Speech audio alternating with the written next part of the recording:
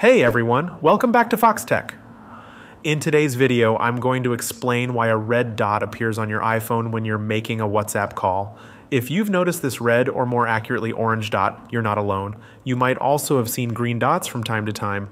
So let's break down what they actually mean and why they show up when you're on a call.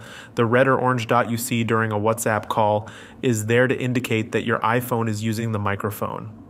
This is part of Apple's iOS privacy features, designed to keep you informed whenever an app is accessing your microphone.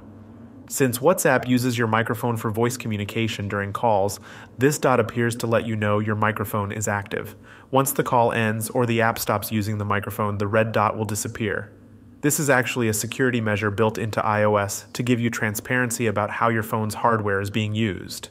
If you ever want to check what apps or services have recently accessed your microphone, just swipe down to open the Control Center.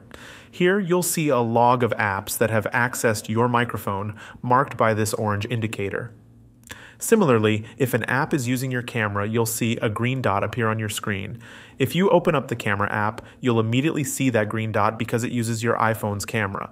This feature helps you stay aware of what's happening on your phone, ensuring that no app accesses your microphone or camera without your knowledge. Depending on your iPhone model, you might see this dot in slightly different places.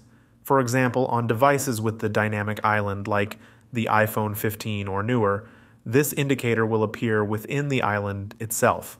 On older models, you'll see it more toward the edge of the screen, but the principle and functionality are exactly the same. I hope this clears things up for you. Thanks for watching, and if you found this video helpful, be sure to give it a thumbs up and subscribe to Foxtecc for more tips and explanations about your iPhone. See you later.